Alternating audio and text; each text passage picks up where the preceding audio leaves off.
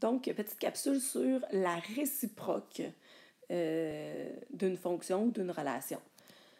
On vous dit ici, donc on est dans les notes euh, de cours, page 8. Donc, une réciproque est une relation où les valeurs des couples d'une relation sont inversées.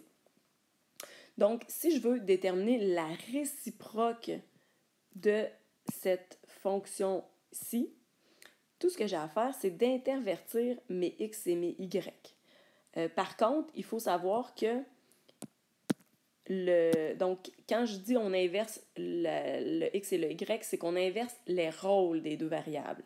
Donc, le rôle de la variable y, qui est normalement le rôle de la variable dépendante, ben, dans la fonction réciproque, il va avoir le rôle de la variable indépendante. Et vice-versa. Même chose pour la euh, variable x, qui est indépendante habituellement. Euh, dans la réciproque, va jouer le rôle de la dépendante. Donc, euh, il me reste simplement à aller chercher mes, inverser mes couples. Donc, le couple 2-4 va devenir le couple 4-2. Le couple 4-8 va devenir le couple 8-4 et ainsi de suite.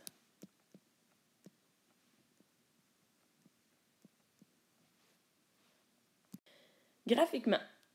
Donc, si je vous, je vous, demande de tracer le graphique dans le même plan cartésien de la réciproque de cette, de cette fonction-là, qui est une euh, variation euh, directe. Ben, d'abord et avant tout, je dois me prendre des couples de points. Donc, je vais me prendre le point 0, 0. Je peux me prendre le point 1,2 et je vais me prendre le point moins 1, moins 2. Donc, ici, j'ai le couple 0, 0. Et là, donc, euh, si je veux tracer la réciproque, ben, je dois intervertir mes x et mes y, tout simplement. Donc, le couple 1-2 va devenir le couple 2-1. Le couple 0-0, ben, ça va rester 0-0. Et le couple moins 1, moins 2 va devenir le couple moins 2, moins 1, donc positionné ici. Et là, par la suite, il me reste à prendre ma règle et de relier, je vais essayer de faire ça bien,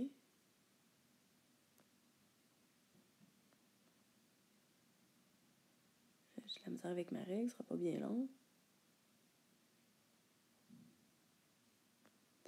Donc, et de relier mes points. Donc, je vais comme ça. Techniquement, c'est peut-être pas la meilleure, euh, meilleure tracé que j'ai fait, mais voilà. Et je pourrais aussi par la suite vous poser la question, est-ce que la réciproque de ma droite en noir est aussi une fonction?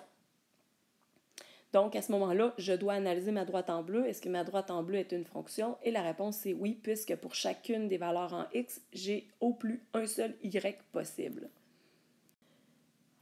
J'analyse maintenant un autre graphique.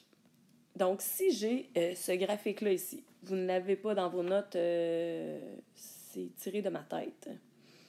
Donc, si j'ai ce graphique-ci, première question que je peux vous poser, est-ce que ce graphique-là, donc la, droite, les droites en, rouge, est-ce que c'est une fonction?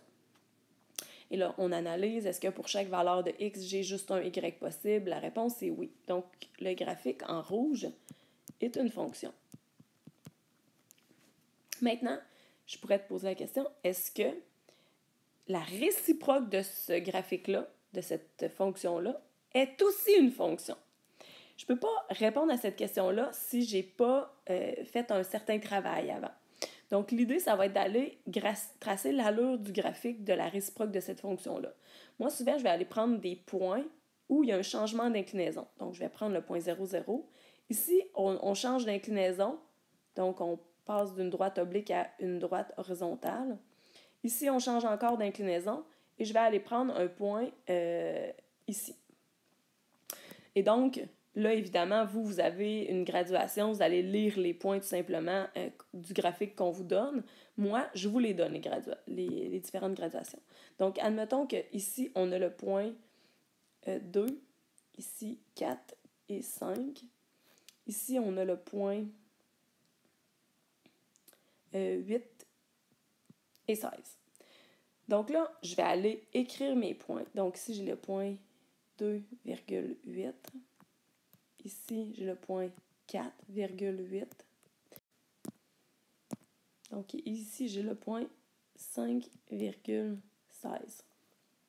Donc là, ton travail à toi, ça va être de tout simplement aller euh, interchanger les coordonnées que tu as trouvées et aller les placer dans, ça peut être le même plan cartésien si vous voulez. Donc moi, je vais le faire en vert. Donc le point 0, 0 qui est ici, ça va, ça va rester le point 0, 0. Donc ma réciproque va passer par ce point-là. Le point 2, 8 va être le point 8, 2. Donc, il va être positionné, là, ma graduation n'est pas super, mais il va être positionné à peu près ici.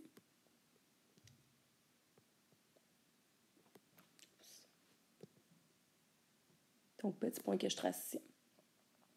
Par la suite, le point 4, 8 va devenir le point 8, 4. Donc, mon 8 est ici.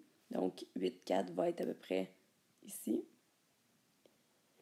Et finalement, le point 5,16 va devenir le point 16,5. Donc, 16,5 va devenir à peu près ici. Là, mon dessin n'est pas très, très à l'échelle, mais vous allez comprendre le principe assez rapidement quand même. Donc, si je trace rapidement euh, ma réciproque, ça va me donner quelque chose du genre tchouk, tchouk, tchouk. Et là, je peux me poser la question, est-ce que euh, la réciproque est une fonction, donc est-ce que pour chacune des valeurs en x, j'ai juste une valeur en y possible? La réponse est non, puisque quand mon x ici vaut 8, j'ai deux valeurs en y possibles, donc j'ai la valeur 4 et j'ai la valeur 5. Donc ce n'est pas une fonction. Mais c'est difficile de répondre à cette question-là si vous ne tracez pas le graphique de la réciproque. Donc euh, voilà pour la petite capsule en lien avec les réciproques d'une fonction.